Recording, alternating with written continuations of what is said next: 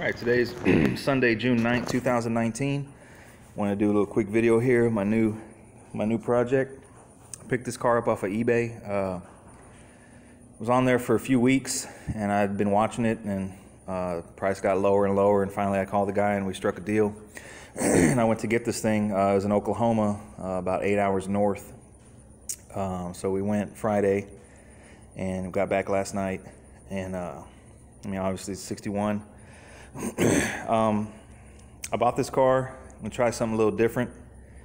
Um, I'm gonna go back with the ermine white, original color. So just give it a little quick walk around here. The hood is exceptionally solid and it's really straight. It's all original. Uh, fenders are pretty good. Got a little bit of work down there on the bottom needs done. The brow's good on this one. This one has a patch done at some point. Um, and a patch down on the bottom that I have to take care of. Uh, it's got Coker uh, fat white walls. the doors are really, really solid. Um, it's had a couple of patch jobs on the floor, but overall it's pretty, I think I can make something out of it. Um, doors are really dry. Door jambs. The quarters have had a, some work on the lower quarters, um, but these appear to be a pretty good job. Right, right now, it's I guess it's an epoxy primer.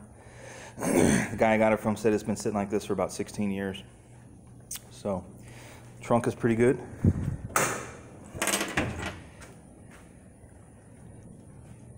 Not sandblasting these for sure. Uh, looked like they had to cut out a little bit there to get to the box brace, um, but a little, little hole right there. Trunk gutters are really dry. and this is original trunk, and man, it's it's, it's almost there. Doesn't take much. Um, the roof the same. It's, it won't take much to put paint on that. Go around this side here. Like I say, the quarters had have had work, but they did a pretty good job. So I'm gonna just block them down spend the next few several weeks, couple months blocking it down. Door jamb good. Looks like they had some rocker work at one point. but the door is really, really good. No rust at all on them. So like I say, it's an original white red interior car. The only thing the car is missing is a back window. So I have the I have windshield, side glass, all the stainless, all the headliner moldings. Uh, I got an original grill, upper grill. I have a new grill, new upper grill. Original three-piece bumpers. It came with original rechromed one-piece bumpers. I guess they call them California bumpers. That was a buying point for me. uh, the car came loaded down. Came with some airbags, tubular suspension, front and rear, uh, disc brakes, Wilwood, calipers, which I may or may not use. Uh, door panels, rear panels, all the side glass, vents. Pretty complete car minus the back window. of course, the interior shot, but uh, at least it's there. That was the main thing I wanted to be there. So, excuse me. So I'm gonna do. Uh, I think I'm gonna do white, red interior, red stripe, four-wheel disc brake powder coat the suspension, tubular. May put an LS motor in it. Um, still debating. I really don't know. Right now, I have a lot more time than I have money after buying this, so I'm just going to take a long time blocking this car down. I'm going to put on the rotisserie, do the same job that we did with the 64.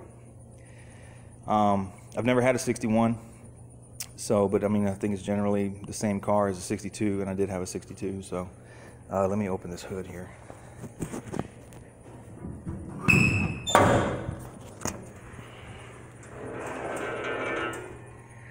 I say, the hood is is really really solid. Um, not sandblasting these, no way. Firewall is good, frame is good, rolls. Um, that's about all it does. It doesn't have any kind of brakes or anything. So I just want to do a little quick video. I'm going to be documenting this whole thing just like I did with the 64. We're still working on the Red Rocket. And actually, we're probably going to paint that car before I even touch this. So right now, I just have it on the skate so I can move it around. But uh, that was this weekend's project, and we made it home safe. 16 hour round trip. Everything went smooth. Truck pulled good. So you guys stay tuned. Um, going to be doing the same thing that we did on this one. Sandblast the floor pans, epoxy, powder coat chassis, the whole nine, just like on the 64. In fact, I think I'm to call this car the Four Aces. Kind of like that. Kind of grew on me on the way home. So uh, it's a shame because these these wheels you can't run disc brakes with these wheels, and I really like the tire, so I'm gonna have to figure something out. But uh, you guys feel free to leave comments or suggestions on what, what I should do with this car. But I'm thinking white um, or red. I don't know.